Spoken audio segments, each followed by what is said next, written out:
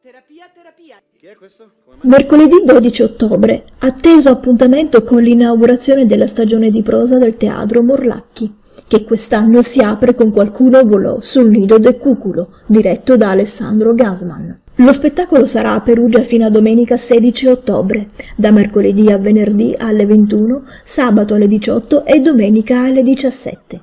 Una messiscena elegante e contemporanea, appassionata, commovente e divertente, imperdibile per l'estetica dirompente e per la forte carica emotiva e sociale con un cast di attori straordinario.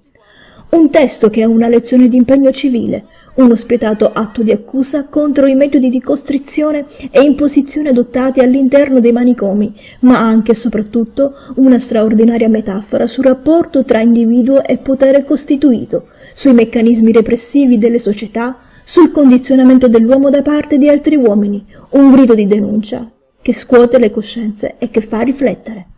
La trovo bene, signor Danese. Mi pare che la terapia adottata non sia riuscita a calmarla. Devo dire la verità.